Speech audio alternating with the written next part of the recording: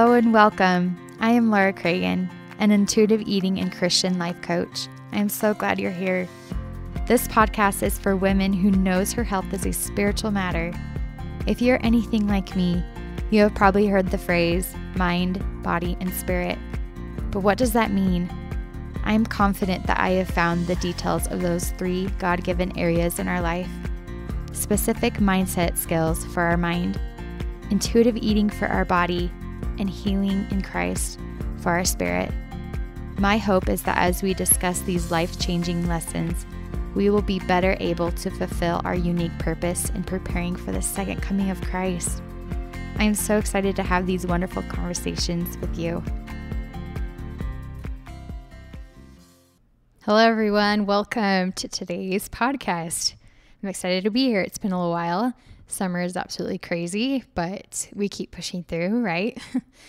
I have been to a funeral and to a family reunion in the past month, and so it's just go, go, go. And now I'm glad to be at home for at least a full four weeks before I go on another trip with just my husband and I and be able to just have normal summertime. So it'll be great. And I want us to jump right in because today is challenge the food police.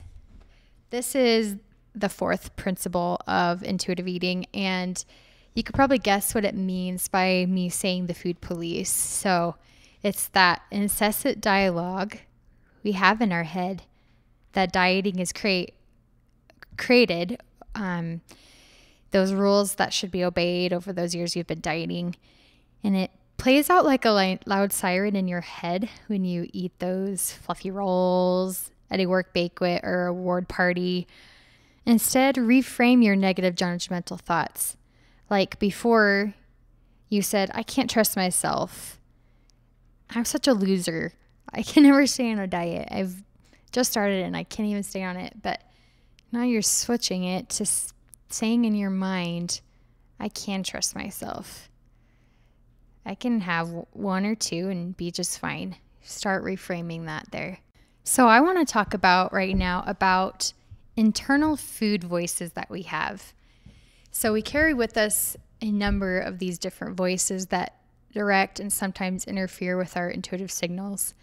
So, we're going to talk about how there are, they're all inner food voices, but there are the destructive dieting voices, the bad group, and then the powerful ally voices. So let's start with these bad voices we have in our mind. There are seven all seven of them all together, three of the bad and four of the good. So you honestly have more on your side than you think.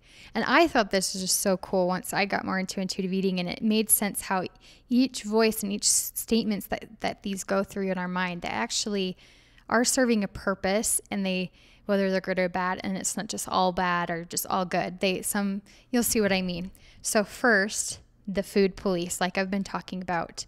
So they the food police decide whether you're being bad or good in relation to your food choices. It combines your dieting rules with your food rules.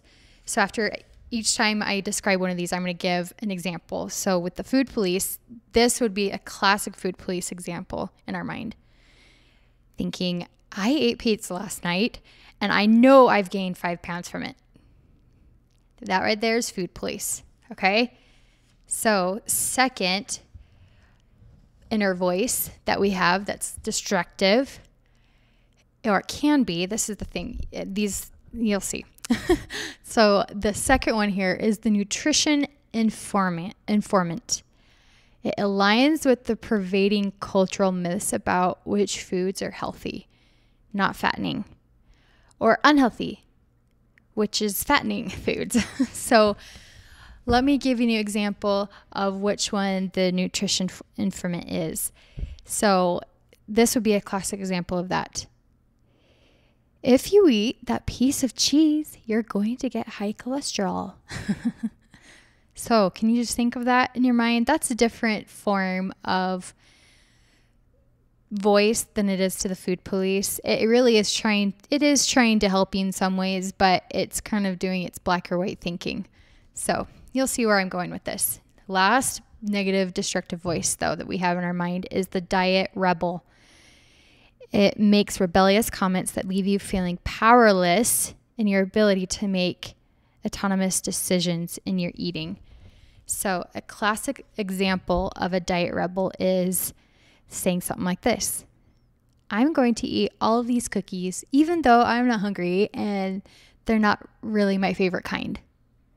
See, it's a different voice. Each of these are different things, and knowing these differences can help us combat what they are. For me, I kind of like details and going more into things like this. Um, but if it really does help you, just know that all of these voices are the diet culture food police in your mind. So let's go into our powerful ally voices. These can aid and comfort you in your relationship with food and your body. So the first one is the food anthropologist.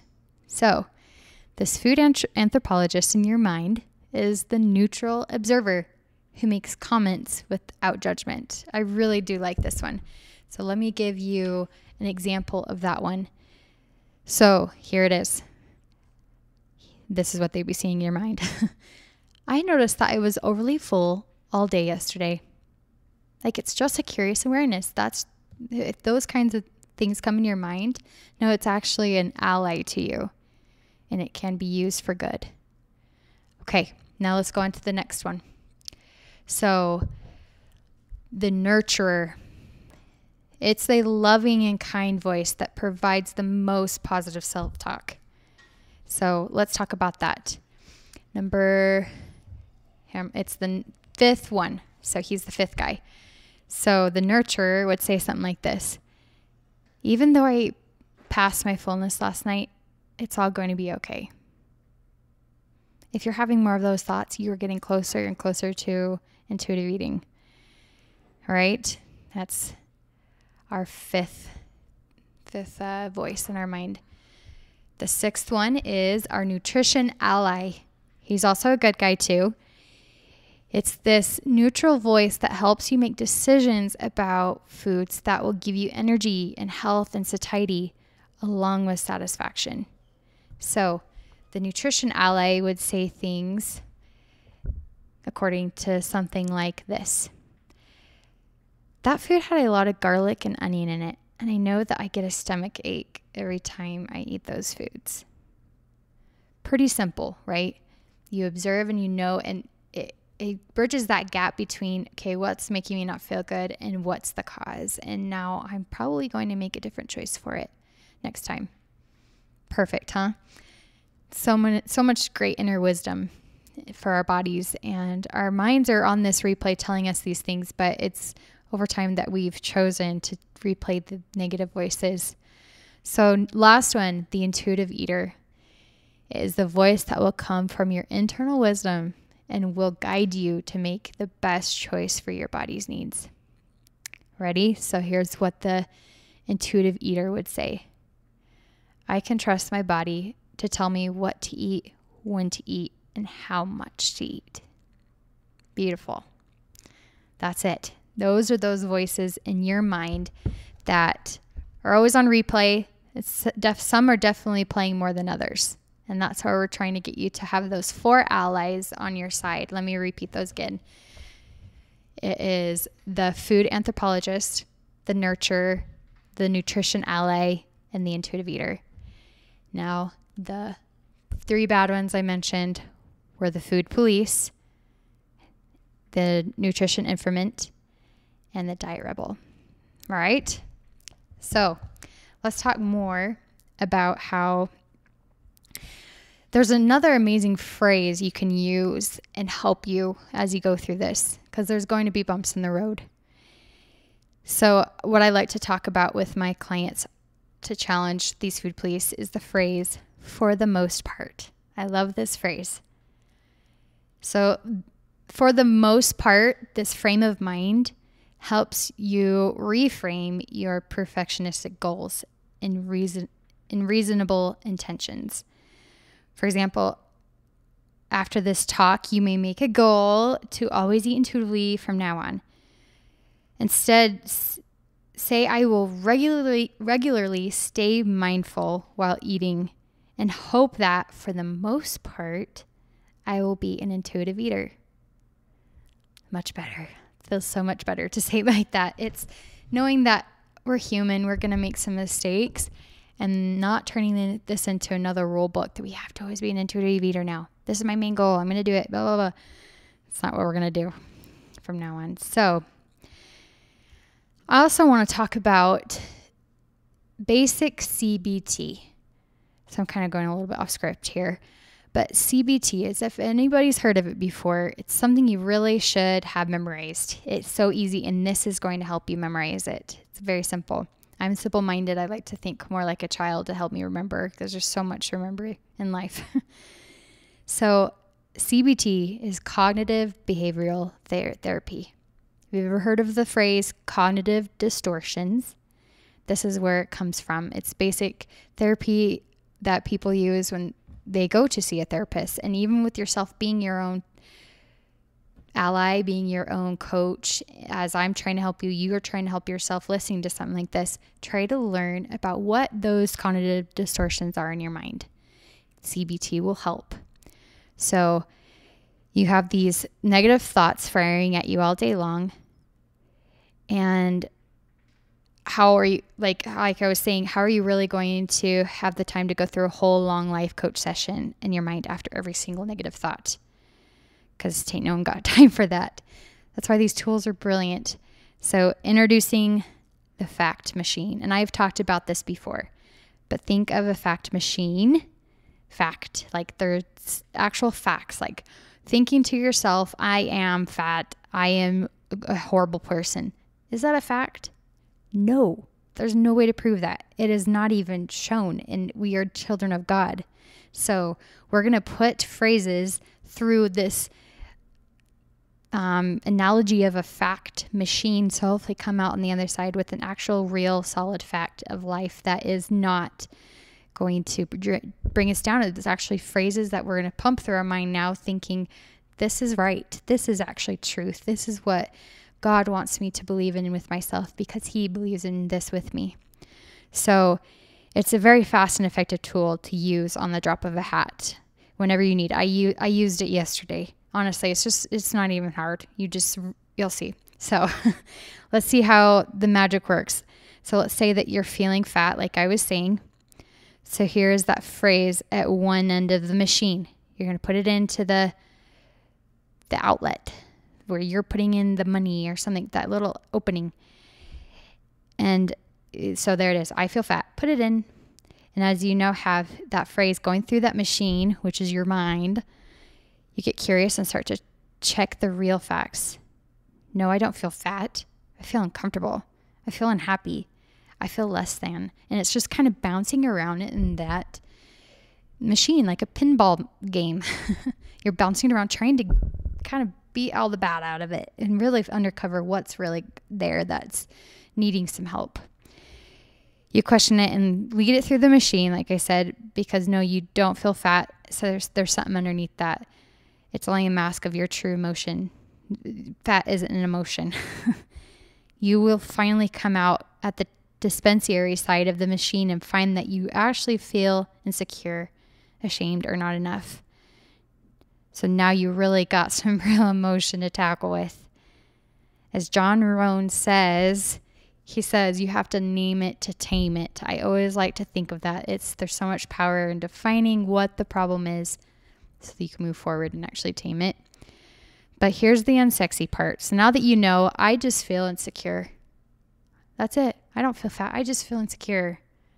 And you could even go deeper. I feel insecure. Why? Maybe because of how you grew up. I feel insecure because I stutter when I talk, and that's how I am. I actually having a podcast has been a big challenge for me in the way I talk. It's been hard. I've had people make fun of the way I've talked before, and it's difficult um, for someone like me, but making it a strength, turning our weaknesses into strengths. Um, but it really is going to take years. As I was saying, this is the unsexy part. It takes years to challenge those thoughts and to truly love yourself, to really put every single phrase through that machine over and over again. And that same one will come back again, probably if I feel fat. and you just keep putting it in there, it refines each time, and you figure it out more and more. And it finally comes out on the other side what the truth is. I actually feel lonely, or I actually feel very tired, and whatever it is. And then you know what to do and go from there. So we change those neural pathways in our minds and to not think those things anymore. And it is possible and it has been a miracle in my own life. So, I wanted to share with you guys a personal story, kind of evol- revolves with challenging the food police. And I'm going to be going along with just my own thoughts here. I'm not, not I'm just kind of going off the cuff. So I knew I wanted to talk about this, but I haven't really prepared much of what I'd say. But this story came to my mind just a couple days ago. I was driving through a different area of town and I passed by a Wendy's. And it's funny how when you are in the throes of your eating disorder, or for just anyone listening that just has disordered eating, not necessarily a full blown eating disorder like I did, you you you start to encounter situations or places or people or things or seasons and holidays that remind you of how things used to be once you finally have made that change to intuitive eating. And it's beautiful to think wow i am i'm so much better. I'm so glad i'm on this side. But this was one of those moments where i realized how bad it was and i passed by this wendy's and i just had that double take like that's that wendy's there was um there was one time where my husband and i went on a date and I don't even remember exactly what we were doing, but definitely driving around this area and we were hungry. And we wanted to keep, kind of keep in budget and get something cheap. And back then, though, Wendy's was off my list. Honestly, anywhere was off my list. I had like a handful of places I liked to go if I was going to eat out that were clean eating places, but they're honestly pretty expensive. But I, Brady, my husband, just told me, you know, let's let's eat here, and I said, yeah, that's probably the best. I'll try and get a salad or something. I don't know. So I remember going through that drive-through line, and I was having this panic attack and thinking, what am I going to eat? I feel like I'm letting him down. I can't choose what I want. I don't want to drag him somewhere else. He knows that it costs too much. He wants to get going on our date. And it became such a thing that I was so nervous how I was going to eat. I was so hungry too. I was just beyond myself of hunger too. I, I needed to eat. And I just would not let myself order something normal that I wanted and liked from there. And it, it became, it, we had a big fight and we all, and we also just, and he also saw how much I was struggling too. So it was, fight. Plus, he was trying to comfort me, but a lot of things. I don't remember all the details, but that's what came up as I saw that Wendy's of, man, that was really hard. Having to go through that, just trying to have a good time, actually, a date. And there had to be that much hassle about where I go out for some fast food. And I think they didn't, I think they ran out of their side salad or something. So that kind of was the straw that broke the camel's back. And um, it, it just made me th- made me think how sick I was. But I never thought I was sick enough. And that's where I'd like to challenge you. You don't necessarily have to be sick in that way with the eating disorder, but just believe that maybe it is enough. You are distorted enough in your eating that you do need to make a drastic change. And um, it's it's very scary to make that change because you're going to be gaining weight, maybe um, in a different body, have to get used to being in a different body, maybe changing how other people around you also do things um, when you hang out with them. That's how my husband and I bonded is through dieting, but and you just don't know how to navigate it. It's such a it's intuitive. It's it's not laid out. We're not used to that. When we have done diets, we're used to having someone just tell us what to do. We do it, and hopefully it works out. And it never did. It's the not the diet that you failed the diet, it's the diet failed you. So I wanted to share that with you just to help you paint a picture in your mind. Maybe if there are any instances that you have gone through with that same thing of being in a place where it should be normal. And I don't like to use the word should, but it here it's to hopefully pro- propel ourselves forward to make some change because there's so much more life to live than knowing what the calories are or if there's mayo on that burger. And of course, if you want to do it for your good health, that's good too. There is still a way to do that with intuitive eating. But um with the level of anxiety and depression that came with it and all these years I dealt with it, no one should have to go through that. And I put myself through that. And the food police, that's why I mentioned this here, is the food police got me there. And I'd like to take that a step further. It's Satan. Satan is trying to tell us we are less than. We are bad when we eat that certain way. We are bad if we eat late at night. We are bad if we don't get on in all our fruits or vegetables for the day. There's no such thing as putting those moral adjectives to ourselves that way. Our value is constant. God loves us no matter what, and it's always constant love in His book. So let me move on now to um, another story actually with me and thinking about the scriptures and um, me going through some harder times here in this last month with my depression. I've gone through kind of a second lull of hard of hardship with my depression. So with everything going on, I turned to the scriptures and uh, found an article also that helped me find this scripture and just this this concept of what we're going through is like the Jaredites and what they had to go through. And this is what it says. It's Ether 6 8. And it came to pass that the wind did never cease to blow upon and towards the promised land while they were upon the waters, and thus they were driven forth before the wind. And it it's showing here that the wind is actually the very thing that's actually going to get us to the promised land. And um, with all that I've gone through this past month and went to a family reunion and there was a lot of drama that happened at the family reunion that was hard for me and you know having um, trying to deal with different fluctuations of my hormones and um, trying to navigate my cycle i've had to change things with that and knowing that it's different for me now on i have a harder time every time i have my cycle um, compared to when i was when a teenager just having trying to have kids and um, my husband's been gone a lot, and there's just a lot going on with activities, and it's just very hard to keep up with all the things. And I've been having a hard time trying to. I've been trying to just keep up on my own mental game through all this, and I was also adding on a new drug to my routine, and that caused me to just counter. It caused it to just counteract a lot of the antidepressant qualities of what I was dealing with with my medication. That was helping me. So definitely a second lull of hardship here and um, not really finding much reprieve and having my own demons come come to me at night and my thoughts and just wanting to not uh, not really exist in some ways and so I've had to really be careful. But I still press forward and it's not who I am. But this is a scripture as I felt drawn like spiritual nourishment to come to Christ and to come to God, He gives me that that life as food and water does.